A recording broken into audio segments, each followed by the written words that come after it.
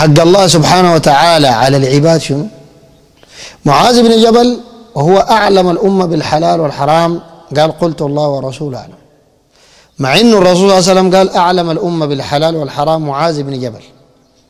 لكن لما حاجة ما عرف في الدين طوالي قال الله ورسوله أعلم. مع أنه ده أعلم الأمة كلها بالحلال والحرام. يبقى يا جماعة نحن نستفيد من الحتة دي. لو زول سألوه من حاجة في الدين وما عارفه يقول شنو؟ يقول الله أعلم أو يقول الله ورسوله أعلم إذا كانت في الدين. لكن ما يفتي في الدين أو ينظر في الدين أو يألف في الدين. زي ما كثير من الناس لا واحد يجيبوه في تلفزيون أو في كده أو في كده يستحي إنه يقول الله أعلم. لما يسألوه مسألة هو ما عارفها يستحي ويخجل يقول الله أعلم. مع إنه قولك الله أعلم ده من العلم ذاته. عشان كده جابر بن عبد الله قال إن من العلم أن تقول لما لا تعلم الله أعلم. وفي لفظ إن من العلم أن تقول لما لا تعلم لا أعلم. لأنه الإنسان اللي بيقول في الدين وحاجة هو ما عارفها ويفتي في الدين بجهله ربنا سبحانه وتعالى بيسأله وبيحاسبه بيعذبه يوم القيامة. قال تعالى ولا تقف ما ليس لك به علم إن السمع والبصر والفؤاد كل أولئك كان عنه مسؤولا. فربنا بيسألك من أي كلمة تقولها في الدين وأنت ما عارفها. دي واحد. اثنين حق الله على العباد حاجتين بس. والحاجتين ديل لو طبقتهم أنت من أهل الجنة. وربنا يغفر لك ذنوبك مهما كان عندك ذنوب ومعاصي. اثنين بس. قال صلى الله عليه وسلم حق الله على العباد أن يعبدوه للحاجة الأولى. ولا يشركوا به شيئا للحاجة الثانية. تعبد الله براو. ما تعبد شيخ ما تعبد فكي ما تعبد فقير ما تعبد ولي ما تعبد صالح ولا شيخ طريقة صوفية ولا غيره. تعبد الله براو. تفرد بالعبادة. دي الحاجة الأولى. لكن العبادة ذاتها يا جماعة في عبادات ظاهرة. والناس كلها عارفينها ومتفقين على المسلمين. زي الصلاة عبادة. وهي الركن الثاني من أركان الإسلام. الناس متفقين عليه عارفينها الصيام المسلمين كلهم متفقين عليه وصيام رمضان. الزكاة على القادر المستطيع الحج على المستطيع. لكن في عبادات أخرى غير الأربعة دي في عبادات ثانية العبادات كثيرة. عشان كده ابن تيمية قال العبادة هي اسم جامع لكل ما يحبه الله ويرضاه من الأقوال والأعمال الظاهرة والباطنة. أي حاجة بيحبها ربنا وبيرضاها سواء كانت ظاهرة أو باطلة أو باطنة من أقوال أو أعمال أو اعتقادات دي كلها تسمى عبادات. ولا يمكن ربنا يرضاها ويحبها إلا إذا كانت جاءت العبادة في الكتاب والسنة. يبقى أي عبادة جاب زول من راسه دي ما عبادة نعبد بها الله. دي ممكن الواحد يعبد بها الشيخ ويكفر يدخل جهنم. لكن العبادة تعبد بها الله لازم تكون من القرآن ومن السنة. عشان كده ربنا سبحانه وتعالى قال في القرآن قل هاتوا برهانكم إن كنتم صادقين. والنبي صلى الله عليه وسلم قال من عمل عملا ليس عليه أمرنا فهو شنو؟ فهو رد. ومن أحدث في أمرنا هذا ما ليس منه فهو رد. فمن العبادات غير الصلاة والزكاة والصيام الدعاء يا جماعة عبادة. الدعاء عبادة. بل ابن القيم قال الدعاء هو أعظم عبادة. وقال ذلك أيضا غير ابن القيم. برضه قالوا أعظم عبادة هي الدعاء. لأن النبي عليه الصلاة والسلام سمى الدعاء هو العبادة والعبادة هي الدعاء. فقال عليه الصلاة والسلام الدعاء هو العبادة.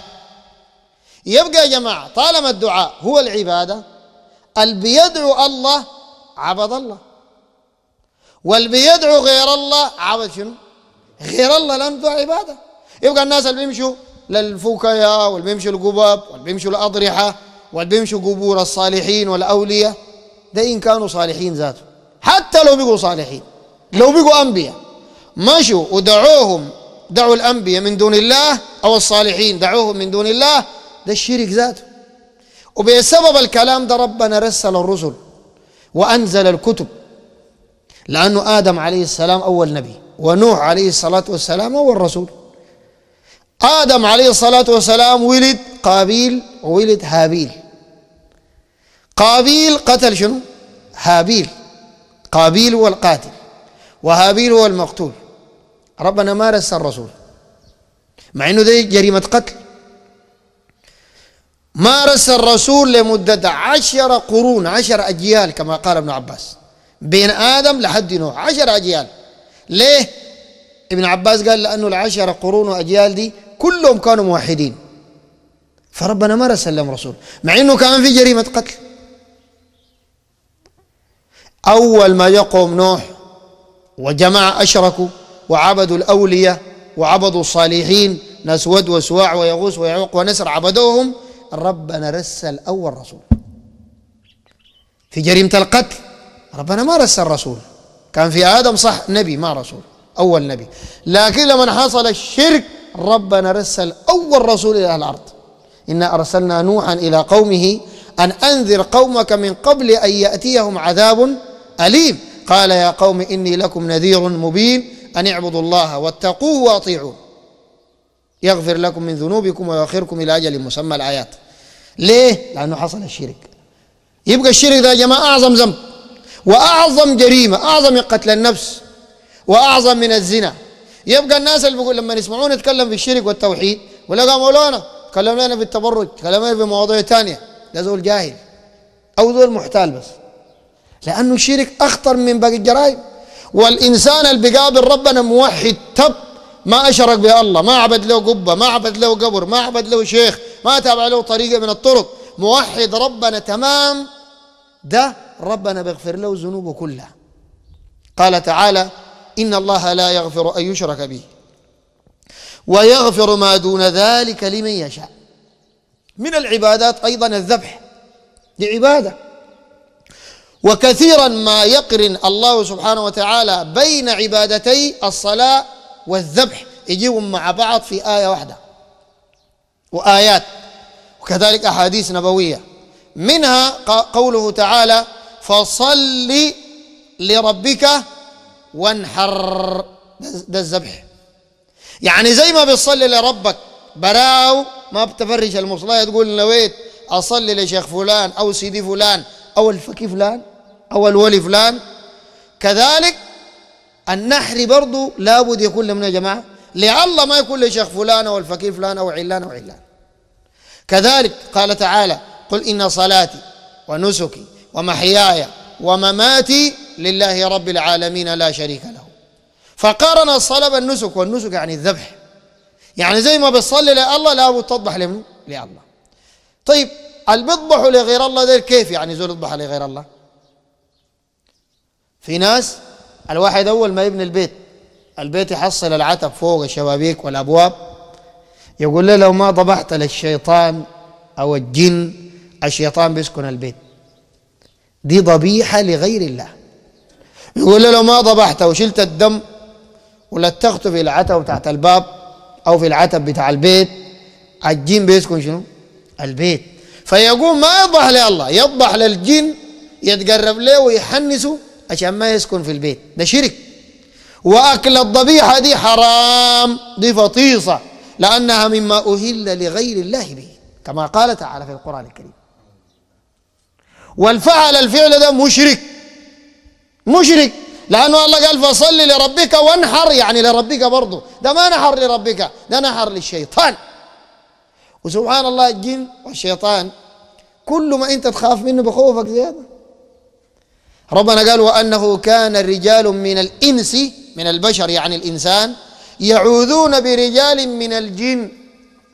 أها عملهم شنو؟ فزادوهم رهقا خوفوهم زيادة. فما تخاف من جن ولا شيطان خاف من ربك. قال تعالى ولمن خاف مقام ربه جنتان. فخاف من ربنا ما تخاف من أحد. الذين يبلغون رسالات الله ويخشونه ولا يخشون أحدا إلا الله وكفى بالله حسيبا. من صور الذبح لغير الله الجماعة اللي بيشيلوا إذا مرته عشر سنة ما ولدت خمسة سنة عشرين سنة ما ولدت يقول لها امشي لأبوك الشيخ الفقي يعمل لها محاية وده شرك. يعمل لها بخرة وده شرك. يعلق لها حجاب وده شرك. في ناس برضه بيعلقوا الحجبات على البقرة على الحمار على الحصان على الناقة. ده كله شرك بالله. لأن النبي عليه الصلاة والسلام قال قال إن الرقى والتمائم التمائم هي الحجبات دي اللي بيعلقوها الناس. كان كمون كان حجاب عمله فكي كان غيره كان غيره. ده, ده تميمة بالشريعة. قال النبي عليه الصلاة والسلام إن الرقى والتمائم والتولة شرك ففي ناس مرضوا ما ولدت لما يمشي لفكي الله يقدر إنها تلد تحمل. ما الفكي؟ فكي ما عنده رماد وما عنده لكن الله دار يمتحنه ويختبره. أول ما تحمل التلد يقول له ده ود أبوك الشيخ. أبوك الشيخ عنده مصنع أولاد؟ يقول لك ده ود أبوك الشيخ. آه أنا عامل لك أبوك الشيخ. يقول لك تشيله بأربعة. اريته لو بقى باثنين ديك. يشيله بأربعة يعني شرك ذاته بيقرونه يشيله بأربعة ويمشي يطبعوا للشيخ. ياكلوا الحيران. حوار تلقى رقبته قدر الدولاب. ليه؟ أكل عتان الناس وأكل خرفان الناس وفي نسوان جهله ما فاهمين حاجة. لما الله ينعم عليهم بالجنب الولد بدل ما يقولوا الحمد لله رب العالمين يمشوا كانهم يقولوا الحمد للشيخ رب العالمين. أيوه لأنه الله لا اداك تطبح للشيخ ليه؟ الله لا اداك يا أخي الكلام ده كانوا عارفين إنه بعض الناس قبل الدين الإسلامي ذاته. أنت عارف المعلومة دي؟ في زمن الجاهلية كان في رجل اسمه زيد ابن عمرو ابن نفيل. ده والد سعيد بن زيد ابن عمرو بن نفيل. سعيد بن زيد ده أحد العشر المبشرين بالجنة صحابي جليل. أبوه ده ما أدرك رسالة النبي صلى الله عليه وسلم. ما أدرك. وعاش زمن الجاهلية مع الكفار ومع المشركين لكن كان موحد. وربنا دخله الجنة. لأنه كان موحد. كان يتكئ على الكعبة. يقول يا معشر قريش ما أحد منكم على دين إبراهيم غيري. يعني على التوحيد. ليه؟ قال لهم الشاة البهيمة دي الخروف أو الغنماية. خلقها الله. ما خلقت الأصنام والحجار حقتكم دي. خلقها الله سبحانه وتعالى. وأنبت لها الكلأ والعشب. تذبحونها لغير الله؟ قالوا ما الله خلقها؟ والله أكلها من العشب وال والبرسيم وكده. تجي تطبحوها والله خلقها. تطبحوها لغير الله؟ المفروض تطبحوها للخلقة. ما لغير الخلقة. فخاطبهم بعقولهم. لكن كانوا ناس مجرمين. أصلا المشرك مجرم. أي زول مشرك. وبيعبد له في قبة. أو في ولي أو متابع له طريقه يصرف لشيخ الطريقة العبادات بدل ما يصرف الله ده تلقاه أكبر مجرم. وفي حياته كلها تلقاه خربان حتى لو عنده قروش. حتى لو عنده قروش تلقاه أخلاقه زي الزفت معاملته مع الناس زي الطين. ليه؟ لأنه معاملته مع الخلق بايظة. كيف معاملته مع المخلوقين تكون مصلحة؟ فعشان كده الإنسان يحذر يا جماعة من الشرك. دي الحاجة اللي الحاجة اللي ربنا دار منك. أن يعبدوه. حق الله على العباد. الحاجة الثانية أن لا يش... أن يعبدوه ولا يشركوا به شيئا. ما تشرك بالله لا الشرك الأكبر. الشرك الأكبر دعاء غير الله الذبح لغير الله النذر لغير الله الاستغاثة اتخاذ الوسائط بينك وبين الله وتصرف لهم شيء من أنواع العبادة. شرك أكبر.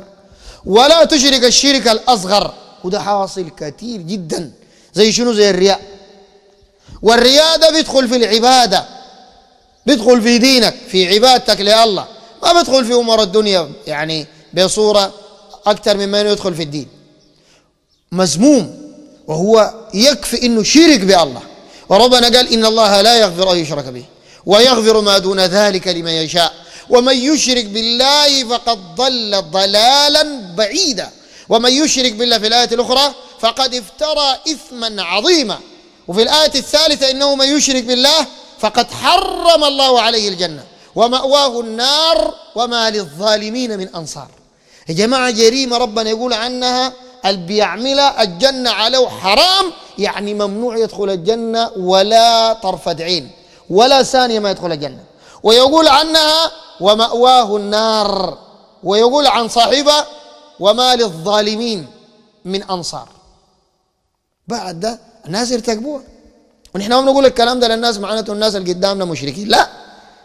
لكن لأنه قال ربنا قال للرسول صلى الله عليه وسلم سيد الموحدين. نبينا محمد صلى الله عليه وسلم قال له ولقد أوحي إليك يا محمد يا رسول الله وإلى الذين من قبلك الأنبياء والرسل الصالحين. لئن أشركت ليحبطن عملك. إذا كان ربنا حذر النبي صلى الله عليه وسلم من الشرك وهو ما أشرك أصلا فنحن ما أحسن من الرسول صلى الله عليه وسلم.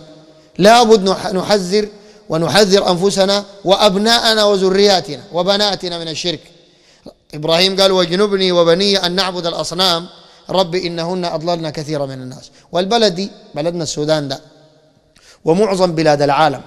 ما في شيء ضر ديار المسلمين زي الشرك بالله. ديار المسلمين فيها بترول وفيها مياه كثير منها وفيها زراعة أغلب البلدان. لكن أغلب المسلمين تعبانين. السبب الشرك ده يا جماعة والشرك الشيطان ما بيجي يقول لك تعال يا بابا راح نكفر بالله. ما ما في شيطان بيجي والا وإلا هو ما شيطان أصلا. ولا إبليس. ربنا قال ولا تتبعوا خطوات الشيطان بيجي خطوه خطوة. أول حاجة بقول لك ده صالح. ديل أشراف. وديل ما بعرف ليك شنو أدارسه. وديل ما بعرفوا سلالة النبي. كذابين كلهم. يا أخي قول سلالة النبي صلى الله عليه وسلم نعبدك؟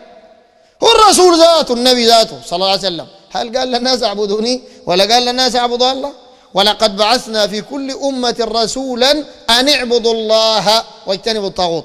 وهنا الرسول صلى الله عليه وسلم قال لمعاذ حق الله على العباد أن يعبدوه هو الله. ما قال أن يعبدوني أنا رسول الله. يجي واحد يغشك ساكت ولا من أشراف تعال بوس لي كراعي أدي جلود طير برا. ما بيجوز الكلام ده باطل. تعبد لك بشر زيك عنده عينين وعنده اذنين وبيرقد بالملاريا. باعوضة يا أخي بتطير جنه باعوضة بس. باعوضة واحدة. يبقى ينزل مطر كيف؟ هو ما قدر ينزل الحمى من راسه. ينزل مطر من السماء.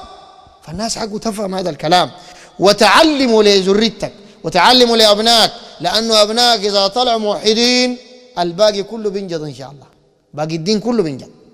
عشان كده الأنبياء كانوا كلهم بيعلموا ابنائهم التوحيد من أول يوم وكذلك الصالحين برضه وإذ قال لقمان لابنه وهو يعظه يا بني لا تشرك بالله إن الشرك لظلم عظيم. أم كنتم شهداء إذ حضر يعقوب الموت؟ إذ قال لبنيه ما تعبدون من بعدي؟ قالوا نعبد إلهك وإله آبائك. وذكروا توحيد عظيم في سورة البقرة. وغيرها من الآيات التي لا نستطيع حصرها ولا عدها الأنبياء كلهم كان دي رسالتهم. حتى عائشة رضي الله عنها قالت كان النبي صلى الله عليه وسلم قال النبي صلى الله عليه وسلم في مرضه الذي لم يقم منه. يعني يعني ده كلام قالوا خلاص ما تغير ثاني. هو شنو؟ قال لعنة الله على اليهود والنصارى اتخذوا قبور أنبيائهم وصالحيهم مساجد مع أنه النبي لما قال الكلام ده صلى الله عليه وسلم كان في المدينة. والمدينة الوقت ذاك الناس كلها شنو؟ موحدين صحابة. والقال لهم الكلام ده كانوا قدامه قدامه ديل صحابة كلهم سادات الموحدين بعد الأنبياء. سادات الموحدين. بعد ده حذرهم من إنه ما يعبدوا القبور. من إنه ما يعبد شنو؟ القبور. اللي يقول لك لا والله إحنا ما عندنا قبور هنا بتعبد ما تتكلم لنا هنا إلا تكون أحسن من الرسل وأحسن من الصحابة. والموحد إذا الإنسان موحد أنت موحد صحيح صحيح بتفرح بالكلام في التوحيد. وإذا الإنسان عنده الشرك في قلبه بيزعل. اللي بيزعل ده لأنه في قلبه في شكك في هوس في عقيدة فازه ربنا قال وإذا ذكر الله وحده اشمأزت قلوب الذين لا يؤمنون بالآخرة. وإذا ذكر الذين من دونه ناس بتكة وناس منو وناس منو ناس بشملة وناس مين وناس مين؟ قال إذا هم يستبشرون يقوم يعرض طوال يربط نص ويعرض هذا وصلى الله وسلم وبارك على نبي محمد وعلى صحبه جزاكم الله خير. بارك الله